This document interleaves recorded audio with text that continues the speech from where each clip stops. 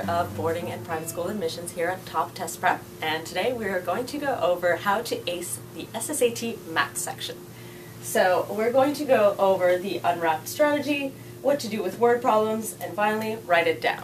So what the unwrapped strategy is, is a way to break down complex math problems. So we want you to go ahead and underline the prompt, then you're going to write it out, you're going to assemble the equation, and then finally plug in your values. And that way you can bring a very complex math problem broken down and succeed at the SSAT math section.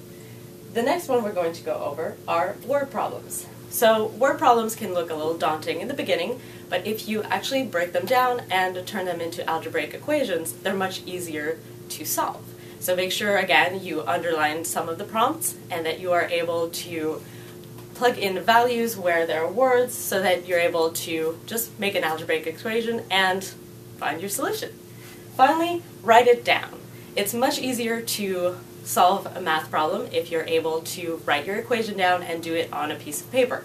Remember, it's your booklet, you can do with it as you wish, so make sure that you go through all of the equation and don't keep it in your head, because if you keep things in your head, you're likely to forget some part of the equation and not obtain the correct answer. And we want you to go ahead and get the right answer and succeed and ace the SSAT math section. If you have any more questions, you can give us a call at 800-501-7737 at Top Test Prep and we'll be happy to help you out with your SSAT prep.